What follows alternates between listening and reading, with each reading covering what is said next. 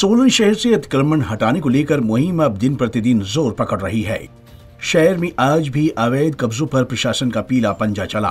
प्रशासनिक अधिकारियों ने आज सोलन के ठोडो मैदान के समीप अतिक्रमणकारियों पर शिकंजा कसा और जिन भी लोगों ने सड़क किनारे रेलिंग लगाई थी, उन्हें हटाया गया। एसडीएम सोलन ने जानकारी देते हुए बताया कि शहर में पैदल चलने के लिए रास्ता बचा ही नहीं है, जिसके चलते ये मुहिम शुरू की गई है और जल्द ही सड़क किनारे से अवैध कब्जा हटाकर वहाँ पैदल चलने के लिए पाथ बना दिया जाएगा।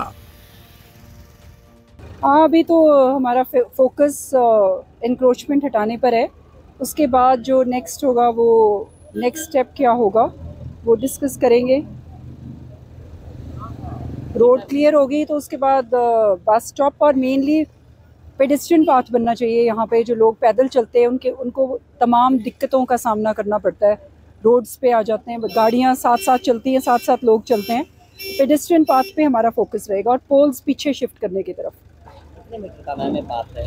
ये जो अच्छा पेडिस्ट्रियन पाथ आम उसकी तीन फुट का होता है मिनिमम थ्री फीट की दोनों साइड ही जगह हाँ बिल्कुल। आप देख रहे हैं जैसा कि सामने। आज तक मैम कार्यवाही अमल में लाई। जहाँ तक हो सकेगा वैसे 12 बजे तक का टारगेट था और काम भी करने होते हैं हमें तो देखते हैं मैक्सिमम अभी समय क्या हुआ है। एक बजे तक शायद।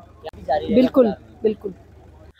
ये जो अवैध कब्जे हटाने की सरकार की मुहिम है ये एक बहुत अच्छा कदम है क्योंकि जो सरकारी ज़मीन पे लोगों ने कब्जा करके उन्हें आगे किराए पे दे रखा और सालों सालों से किराया खाए जा रहे हैं। ज़मीन सरकार की और पेट लोग अपना भर रहे हैं। इसलिए जो मुहिम सरकार ने चलाई है बहुत ही अच्छी मुहिम है। नहीं हर जगह होना चाहिए क्योंकि सरकारी ज़मीन पे कब्जा नजायज कब्जा होना नहीं चाहिए। और पीला पंजे चलने का मतलब तो ये कि लोग मानते नहीं है। अगर लोगों से ये कहा जाए भाई आप अपने आप इसको हटा दो कब्जे को नजायज कब्जे को तो नहीं हटाएँगे। तो इसलिए पीला पंजा चलाना बहुत ज़रूरी है।